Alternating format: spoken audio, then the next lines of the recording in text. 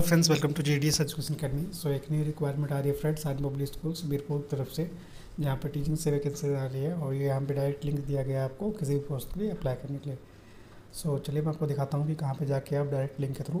किसी भी पोस्ट के लिए अप्लाई कर सकते हैं। जैसे आप आर्मी पब्लिक स्कूल्स बीरपुर की ऑफिशियल वेबसाइट पर आएँगे यहाँ पर आते हैं आपको करियर पेज पे आना करियर पेज पे आएँगे तो यहाँ पर आपको देखिए लिखा हुआ नेम ईमेल एड्रेस तो यहाँ पे आपको रिज्यूमे अपलोड करनी है थ्री एमबी तक होनी चाहिए। और साथ में आपको यहाँ पे मैसेज लिख के अप्लाई डायरेक्ट कर देना अप्लाई कर देना है फ्रेंड तो एक तो ये डायरेक्ट लिंक है जहाँ से आप अप्लाई कर सकते हैं किसी भी पोस्ट के लिए। और एक ऑफिशियल नोटिफिकेशन के थ्रू भी वैकेंसी आई हुई थी रेगुलर पोस्ट की, वो भी मैं आपको एक बार दिखा देता हूँ, जिसकी लास्ट डेट जैन की रखी गई है। क्लस्टर स्कूल्स के अंदर है बट जो मोस्टली प्री बीरपुर स्कूल में अप्लाई करना चाहते हैं तो ये डायरेक्टली आप यहाँ से भी कर सकते हैं फ्रेंड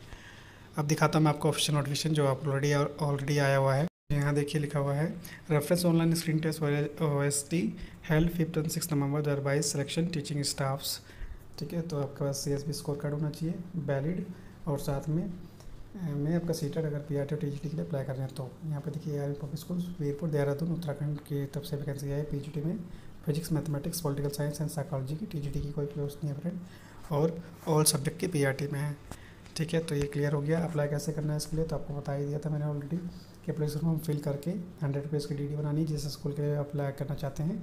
और लास्ट डेट जो सात जनवरी रखी गई, सात जनवरी से पहले पहले आपको यहाँ पर सबमिट करा देना है। सो क्लियर हो गया होगा friend thank you so much and all the best